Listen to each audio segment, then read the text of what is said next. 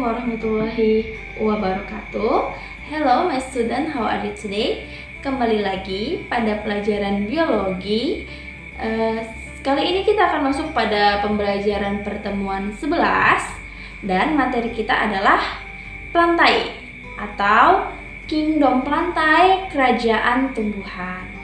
Nah, sebelum kita masuk pada PPT MIS, kita harus terlebih dahulu mengetahui uh, apa sih tujuan dari mempelajari uh, kingdom lantai? Tujuan yang pertama itu ya yaitu dapat mengetahui dan menjelaskan uh, ciri-ciri baik itu lumut, tumbuhan paku, uh, tumbuhan gimnos dan angios. Kemudian kita akan mengetahui reproduksinya dari uh, setiap uh, macam-macam kelas uh, tumbuhan. Kemudian kita mengetahui manfaatnya. Setelah itu kita akan bisa menjelaskan klasifikasi dari lumut, tumbuhan paku dan tumbuhan anyes dan gimnos. Nah, setelah kita mengetahui tujuan pembelajaran dari hmm, plantae, kita dan kita juga harus tahu ciri-ciri dari tumbuhan. Nah, apa saja di dalamnya? Yang pertama itu memiliki klorofil ya, yang berfungsi untuk fotosintesis. Kalau sudah bisa berfotosintesis, maka dia itu bersifat autotrof, dapat membuat makanannya sendiri. Ciri-ciri yang ketiga yaitu bersifat multiseluler dan selanjutnya dapat mengalami pergiliran keturunan dalam siklus hidupnya. Berarti dia pergiliran keturunan mulai dari spora sampai dewasa. Seperti itu berulang-ulang kali e, dalam pergiliran siklus hidupnya. Dan yang terakhir itu ciri-cirinya eukariot. Nah, kita e, dapat mengetahui ciri-ciri secara umum dari plantae.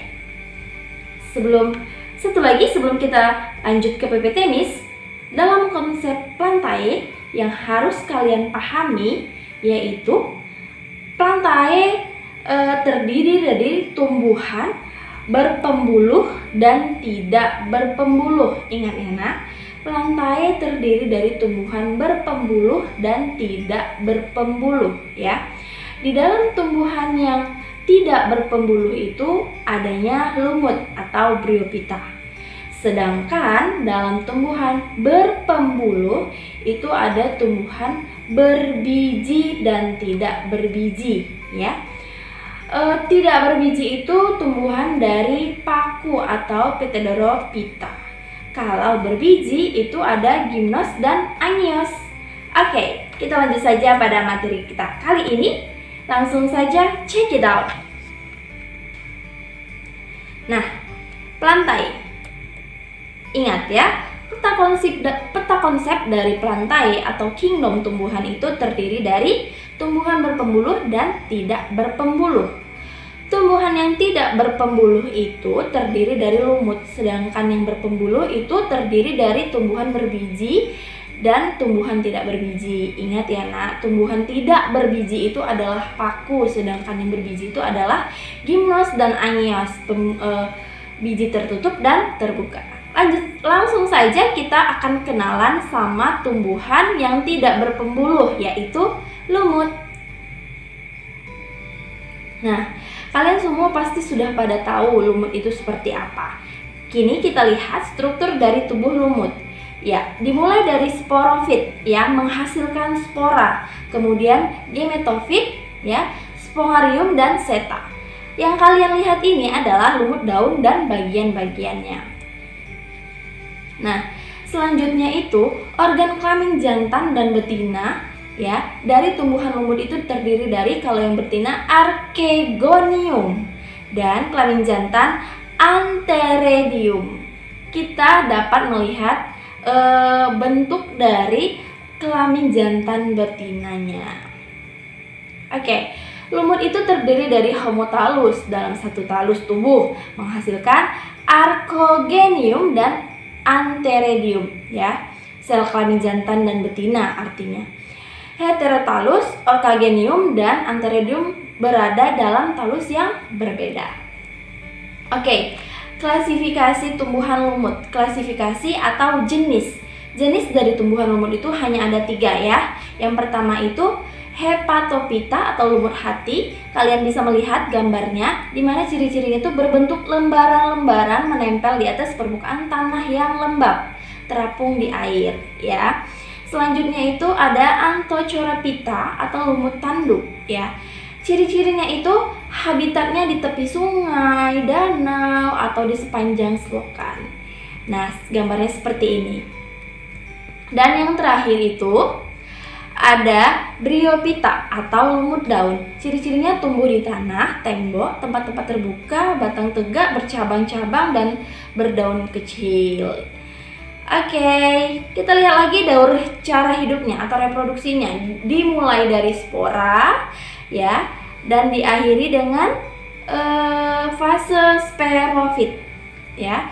Di situ ada sporoganium 2N, sporoganium 2N.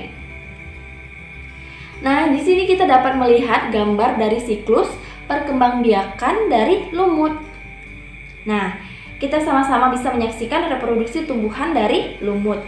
Saprofit itu seperti apa, ujung gametofit jantan itu seperti apa, dan ujung gametofit betina itu seperti apa.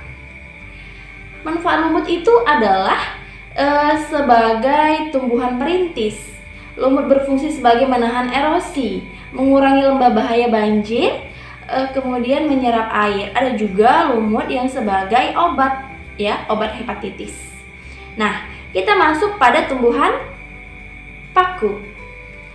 Tumbuhan paku hidup di air hidrofit, tempat lembab atau higrofit, menempel pada tumbuhan lain atau epifit hidup pada sisa-sisa tumbuhan saprofit.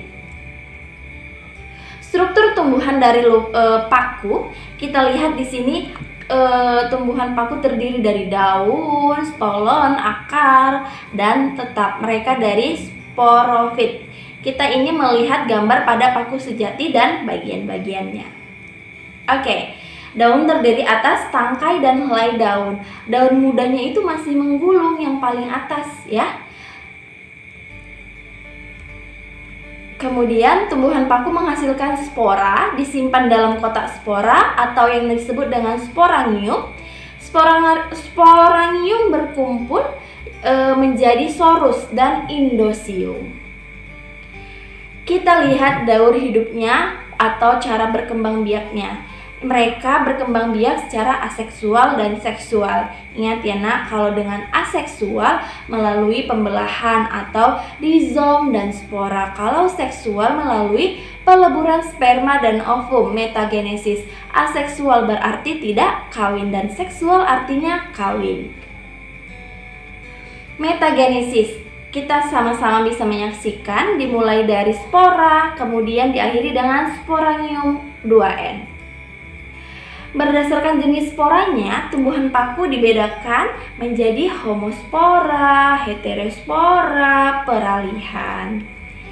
Oke, klasifikasi paku di sini akan dijelaskan yaitu paku telanjang atau Psilopita berdaun kecil tidak berdaun, hidup di zaman purba ya. Kemudian paku kawat atau Lisopita berdaun kecil dan tersusun spiral. Okay, paku ekor kuda. Daunnya kecil, tunggal, tersusun melingkar. Sporangiumnya terdapat dalam strobilus. Strobilusnya itu kalau pada gambar yang paling atas ya, nak. Oke, yang terakhir itu ada paku sejati. Daunnya muda, menggulung, sporangiumnya terdapat pada sporofil. Manfaat paku itu tersen manfaat paku itu sendiri sebagai tanaman hias untuk dikonsumsi juga ada paku atau pakis lebih sering dikenal di kalangan umum ya nak. Untuk pupuk hijau juga bisa, kemudian fosil paku dimanfaatkan sebagai batu bara. Oke, tumbuhan berbiji. Tumbuhan berbiji, di sini kita akan membahas yang namanya berdasarkan letaknya yang namanya itu gymnospermae dan angiospermae. Artinya e, tumbuhan yang berbiji tertutup dan tumbuhan berbiji terbuka. Oke, sekian pemaparan materi kali ini di pertemuan 11. Uh, eh, kurang dan lebihnya Miss mohon maaf. Kita lanjut pada grup e-learning kita. See you next time and assalamualaikum warahmatullahi wabarakatuh.